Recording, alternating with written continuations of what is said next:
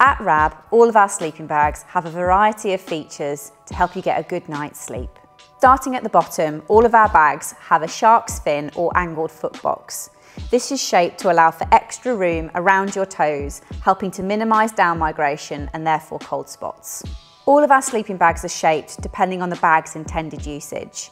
Either cut to minimise the amount of dead space within the bag, which improves its performance, or cut larger, increasing the amount of space and therefore achieving more comfort. In some cases, with our extreme cold weather bags, these are cut to accommodate a specific layering system within the bag. All bags have both a shoulder and neck baffle with an internal draw cord to achieve a perfect fit. A neck and shoulder baffle helps retain heat inside the bag, stopping it escaping as you move. Some neck and shoulder baffles are even ergonomically shaped for improved fit and reduced bulk.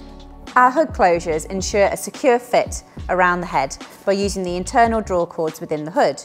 This will cinch in around the face, helping to retain the maximum amount of heat within the bag for use on cold nights. Most bags will feature an internal zip pocket for keeping items warm, such as batteries.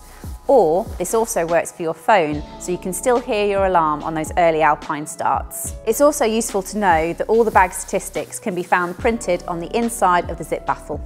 Some of our bags feature a YKK anti-snagging slider cover, which ensures none of the fabric will ever get caught within your zip.